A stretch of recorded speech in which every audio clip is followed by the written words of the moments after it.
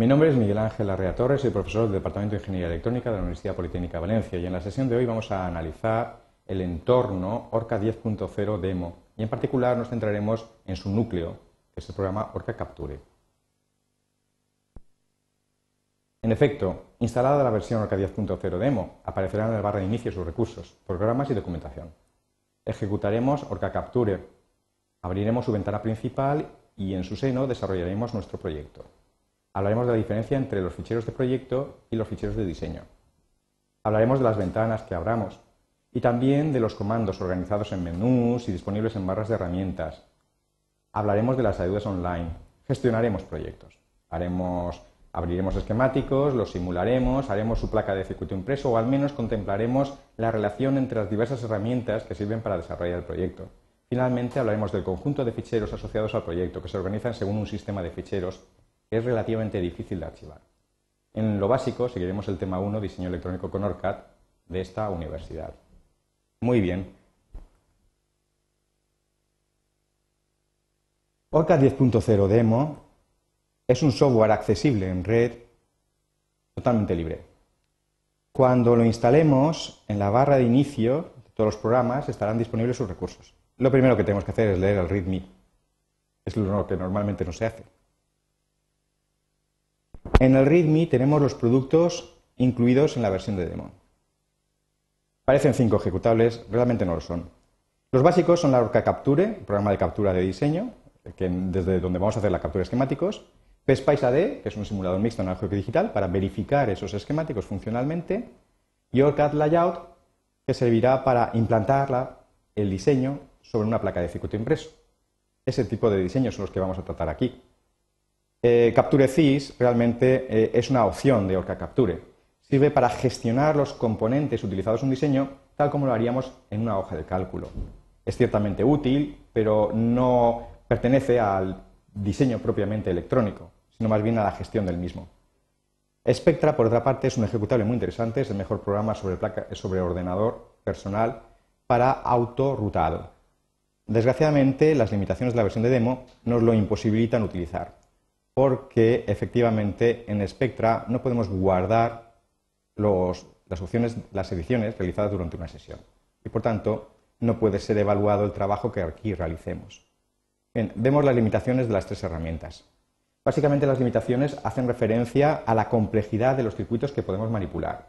No son limitaciones, eh, que conviertan a esta herramienta en inadecuada. Esta herramienta para la enseñanza, esta herramienta es ciertamente una de las mejores que existen para explicar los conceptos asociados al flujo de diseño CAD electrónico sobre placa de circuito impreso.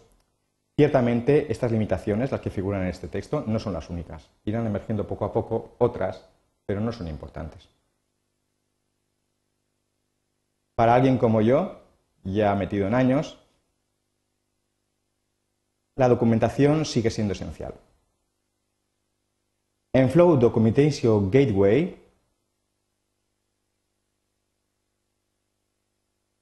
tenemos la documentación básica de la Unison Suite, que en otro caso que es el nombre que recibe desde el punto de vista eh, comercial el conjunto de herramientas constituidos en Orca 10.0 Demo. Bien, tenemos los manuales aquí. Por ejemplo, en PSPICE podemos acceder a la guía de usuario a la guía de referencia. La guía de usuario es la primera lectura. Es conveniente leer las guías de usuario. Las guías de referencia es para resolver las dudas, ampliar. Aparte de esta documentación en formato PDF, yo puedo introducirme en cualquiera de estas herramientas y acudir a sus ayudas online. En el Flow Documentation Gateway, si picamos dos veces sobre Orca Capture, nos aparece el Capture Knowledge System, un sistema ciertamente eficaz para resolver las dudas relativas a la herramienta Capture. Insisto, a la herramienta Capture. El contenido está organizado por capítulos los capítulos, a su vez, permiten acceder a todos los pasos como si fuera un flujo de trabajo. Tenemos índice temático y tenemos búsqueda.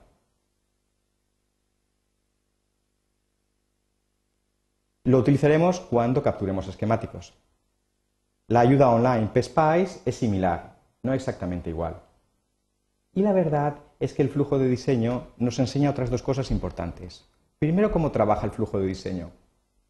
Efectivamente, nosotros capturamos, introducimos el diseño capturando esquemáticos. Con facilidad podemos ceder la información desde la captura de esquemáticos al simulador, observar si el resultado del comportamiento del esquema cumple especificaciones y eso validará nuestro diseño. Una vez validado nuestro diseño, intentaremos implantarlo sobre una placa de circuito impreso. Siempre será posible hacer modificaciones a nivel físico en la placa de circuito impreso. Estas modificaciones podrían verse reflejadas en el esquemático para sincronizar la información. Estas modificaciones normalmente son de orden menor. En la medida posible se trata de que del esquemático a la placa de circuito impreso los pasos sean los más automáticos posibles, para que el diseñador no interfiera y cometa errores, que el diseño sea correcto por construcción. Sin embargo, siempre es importante poder reanotar o hacer una back annotation de la información realizada en diseño físico. Otras herramientas como Spectra que hemos titulado antes, o las que se pueden utilizar para postprocesar la información de OrCAD Layout y llevarla al entorno de fabricación, también forman parte de los entornos de diseño. Sin embargo, lo más importante en este flujo de diseño es ver lo que no se explicita. Lo que no se explicita es que realmente OrCAD Unison Suite no es un entorno integral, es un entorno integrado.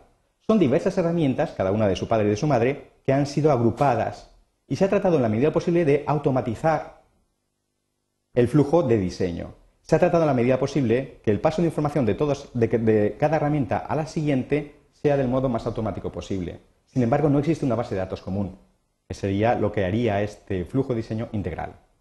De hecho, para llevar la información de Orca Captura a PSPICE significa generar un fichero de interconexiones o netlist que representa la topología del esquemático. Y este netlist tiene que ser en formato PSPICE, del mismo modo que necesitaremos generar un netlist en formato layout desde nuestro esquemático. Como cada herramienta tiene un grado de interfase distinto, realmente OrCAD Unison Suite no es un entorno integral.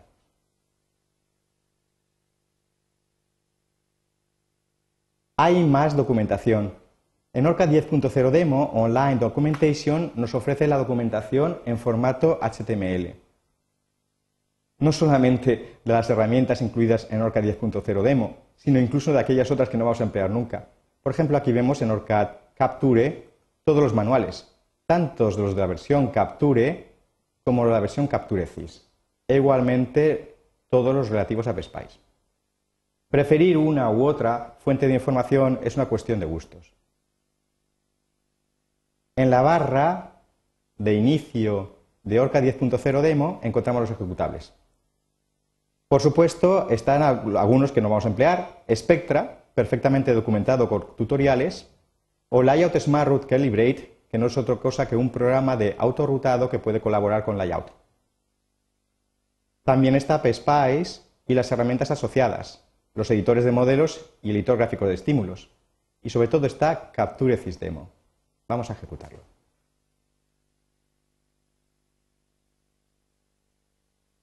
Cuando abrimos Orca Capture, se nos abre la ventana principal.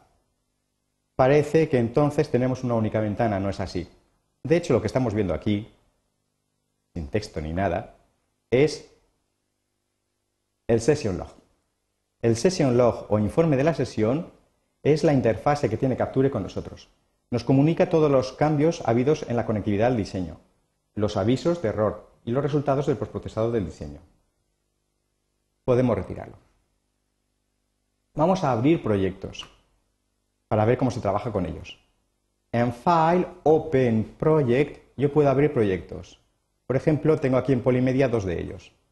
Fijémonos que cada proyecto ha sido almacenado en principio en una carpeta diferente. El fichero OPJ es un fichero de proyectos. Lo abrimos así. Al abrir el fichero OPJ me aparece el gestor de proyectos. El gestor de proyectos es el corazón de Orca Capture. De hecho, Orca Capture maneja proyectos. Sin embargo, si nos fijamos aquí, podemos realmente abrir otros tipos de diseño, de ficheros. Tenemos, por ejemplo, los ficheros de diseño. Los ficheros de diseño son justamente los ficheros que contienen los esquemas. Los ficheros de librería, que son ficheros que contienen símbolos de librería para editar esquemas. Diseños y librerías de extensión DSN y OLB respectivamente son ficheros objetos. Solo pueden ser leídos por Capture. Los diseños pueden incluir además descripciones de carácter textual o ficheros asociados al proyecto textuales, por ejemplo VHDL, Verilog e incluso librerías del tipo PSPICE que incluyen modelos textuales PSPICE. Entonces, ¿quién es el proyecto? El proyecto es un fichero muy poco brillante. Es un fichero ASCII. Este fichero ASCII funciona como si fuera un contenedor de la información. Referencia a todos y cada uno de los ficheros asociados a nuestro diseño. El más importante de todos ellos es el fichero diseño, el fichero DSN. Fijémonos que el gestor de proyectos maneja proyectos y sin embargo lo primero que hace es invocar diseños. El fichero DSN y el fichero OPJ son inseparables, no deben separarse. Cuando los guardemos, los guardamos juntos. Igualmente, cuando yo creo un fichero de librería, inevitablemente, si no existe un fichero de proyectos, será creado. Bien, ¿y por qué el fichero de proyectos? Cuando yo era pequeñito, en la antigüedad, cuando uno generaba un esquemático, hacía un dibujo, pero el dibujo de un, eh, de un esquemático no es simplemente dibujar, es transferir información a una herramienta. El esquemático que realizaba el ingeniero tenía que incluir símbolos de aquellos componentes que eran procesables por la herramienta que iba a utilizar. Y esta información estaba implícita en la configuración del editor de esquemas. Si un ingeniero recibía mi esquemático y no tenía configurados los mismos librerías que utilizaba dicho esquemático, se encontraba con que el esquemático estaba lleno de vacíos o interrogantes. Eran los símbolos que, al no estar configurados en su editor de esquemas, no podía ver. En definitiva, ese tipo de esquemas eran no portables, no podían portarse de un ingeniero a otro, si este ingeniero, el original, no daba información extra. Pues bien, toda esa información extra está aquí, en el proyecto. En el proyecto se direccionan, repito, en un fichero ASCII, todos y cada uno de los ficheros asociados a mi diseño. El más importante es el fichero diseño, el fichero DSN. El fichero DSN es un fichero objeto, como hemos dicho. Está constituido, en primer lugar, por uno o varias carpetas de esquemáticos. Cuando eh, digamos carpeta de esquemáticos, debemos de entender esquemáticos. Por ejemplo, en la carpeta que tenemos aquí, One Stage Amp es un amplificador. A su vez, los esquemas pueden tener una o más páginas, intentando eh, eh, imitar a los primeros diseñadores electrónicos que efectivamente sobre el tablero de dibujo dividían un circuito grande entre varias páginas.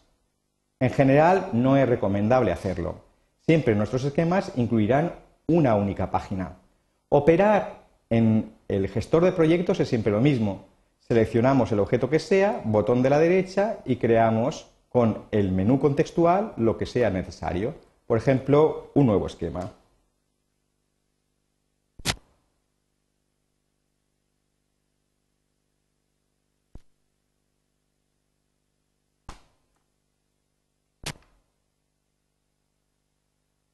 Y dentro de él puedo crear las páginas que me parezcan. Este esquema está vacío, por supuesto. Aparte de, las carpetas de esquemas con sus páginas, tenemos la caché. La caché es muy interesante. Es un buffer que contiene una copia de todos y cada uno de los símbolos utilizados por mi diseño. Actuamos como si fuera una librería. Sirve para facilitar la portabilidad.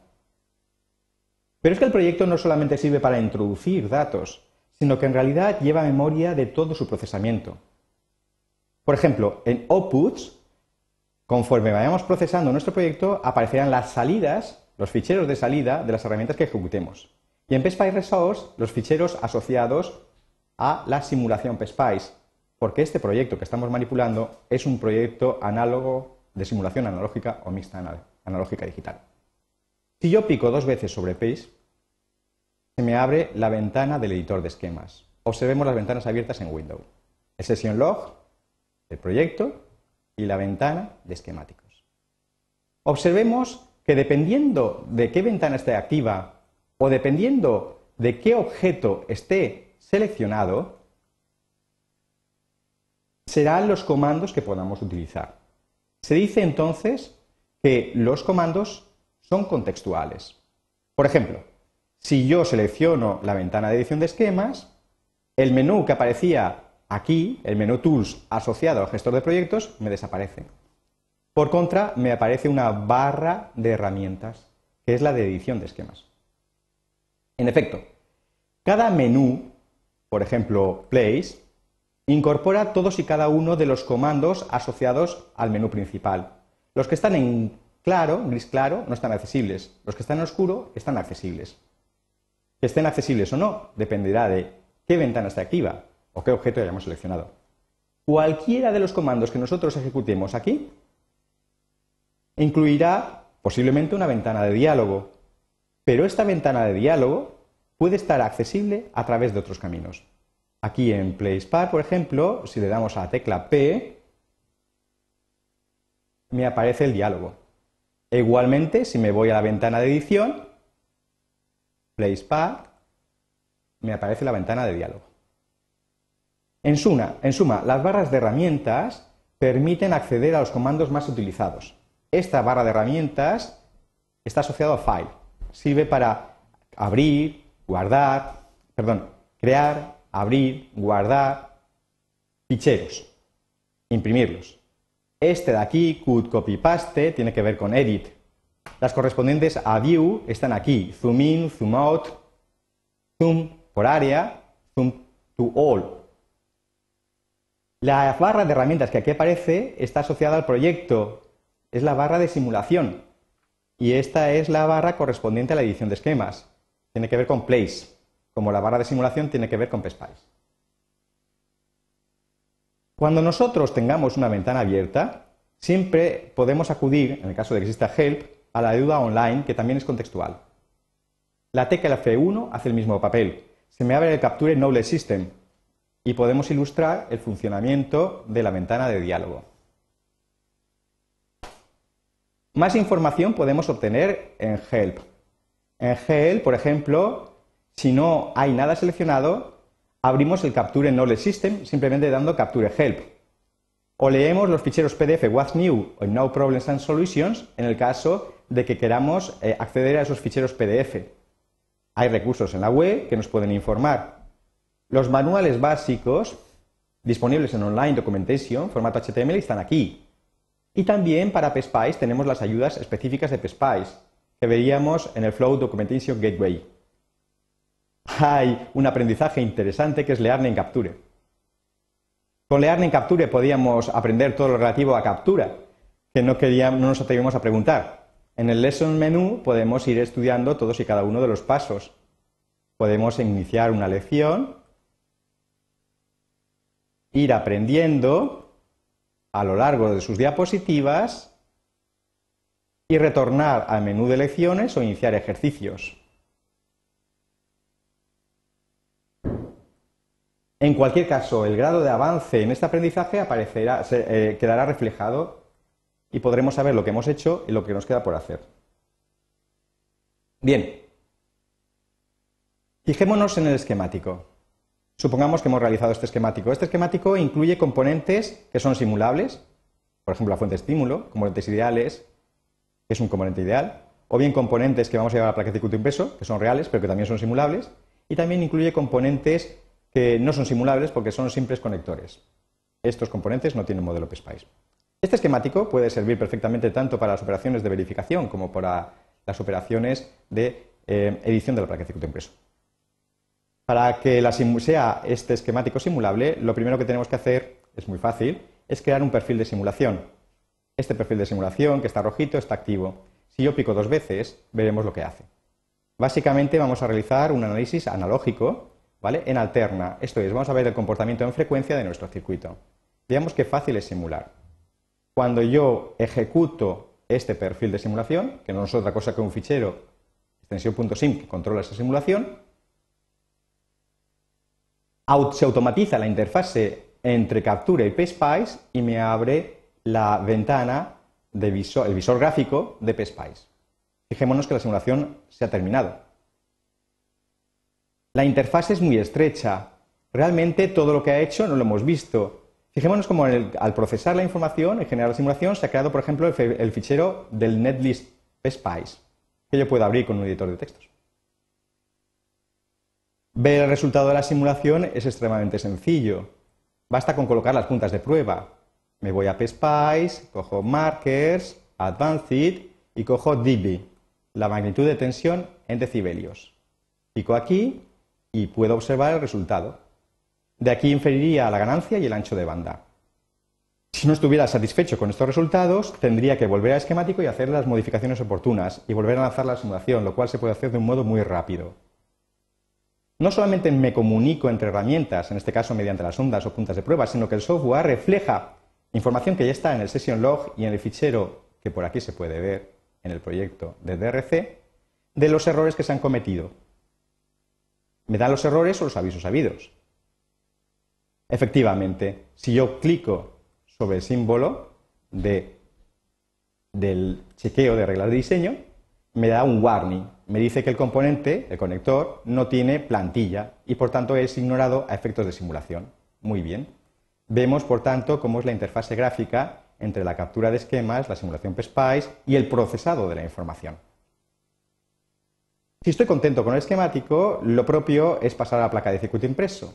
En este caso, volvería al proyecto, que es donde se gestiona el conjunto del diseño, y lo que haría es, seleccionando el diseño, haría Tools, Create Netlist.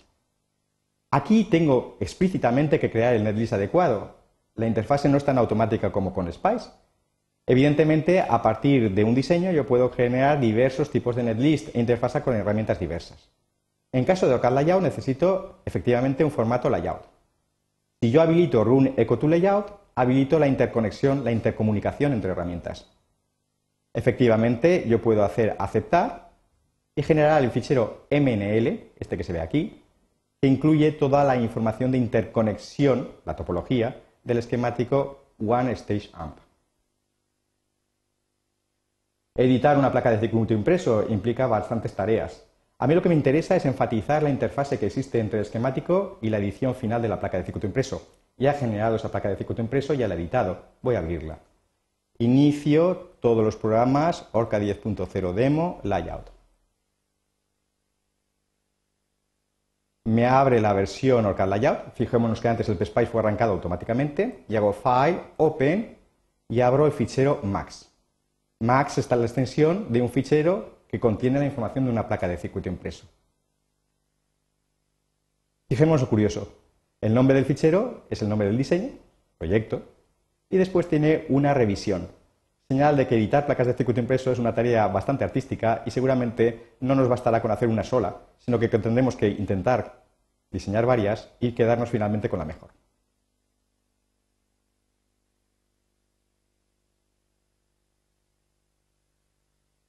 Aquí tenemos la placa de circuito impreso editada. Nos extenderemos en las opciones de edición más adelante, lo importante es que es una representación topológica, una topología, correspondiente al esquemático que hemos realizado. Y de hecho está relacionado. Si yo, por ejemplo, hago window y hago half screen, puedo aquí representar mi esquemático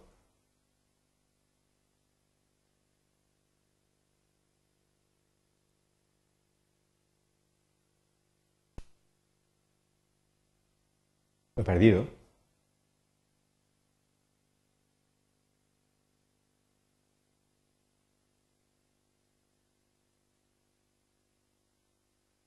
y si señalo cualquiera de sus nudos, el equivalente aparece en la placa de circuito impreso. E igualmente, yo puedo en la placa de circuito impreso seleccionar los tracks, las pistas, aquí está, y si yo selecciono un nudo cualquiera, este por ejemplo, se me ve reflejado aquí. Más adelante veremos que incluso yo puedo aquí realizar modificaciones a los valores de los componentes y mediante el proceso de backanotation actualizarlos a nivel esquemático, de tal manera que la información del esquemático y de la placa estén sincronizadas. Vemos que la interfase con la herramienta de placa de circuito impreso no está tan desarrollada como la simulación. Orca Capture permite abrir varios proyectos. Yo puedo tener varios de ellos abiertos. Solo uno de ellos se procesa. Voy a abrir un segundo proyecto.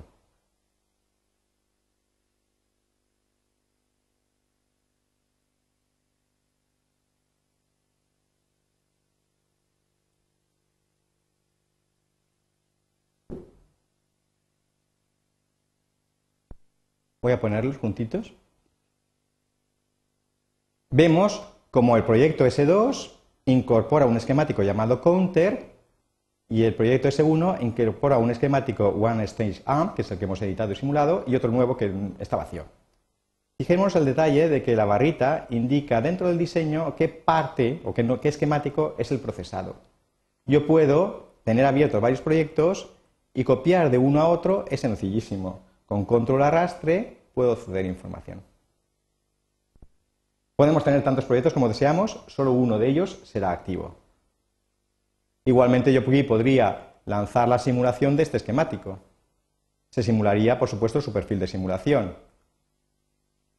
Se nos abre la simulación. Vemos cuán fácil es trabajar en esquemáticos y simular con Orca Capture y PSPICE. Por último, realmente cuando estamos manejando un proyecto estamos eh, gestionando un montón de ficheros. Este montón de ficheros lo podemos ver aquí, File Open, Project. Voy a ampliarlo para que se vean. Se guardarán en una carpeta. Fichero de proyecto, el OPJ y el fichero de diseño DSN tienen que andar juntos. Los ficheros eh, que, asociados al proyecto que se vayan generando por ejemplo, el fichero MNL, el netlist de, para hacer la placa de circuito impreso, o el MAS, que es el de la información gráfica de la placa de circuito impreso, se guardarán en esta carpeta. Los ficheros asociados a la simulación se guardarán en una carpeta que tendrá el nombre del proyecto y el nombre de Spice Files.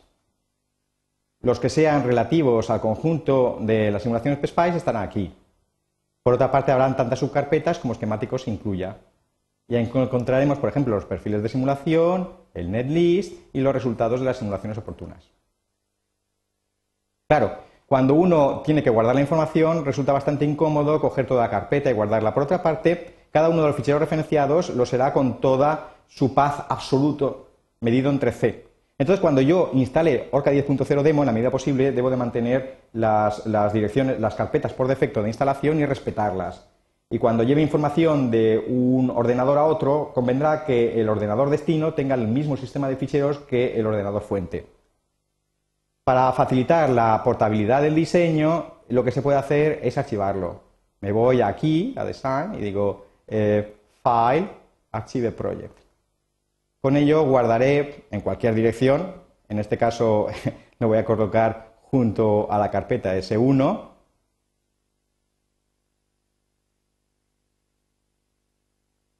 mi diseño.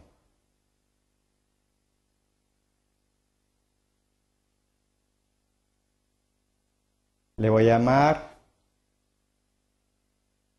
S1 back. Como los proyectos normalmente toman información de otros lugares, los ficheros de librería, los ficheros de salida, los puedo incluir por aquí. Y si mi diseño referencia a otros proyectos, también. Con ello tendré toda la información, la agarraré como si fuera un racimo. Y yo puedo abrirlo exactamente igual que cualquier otro.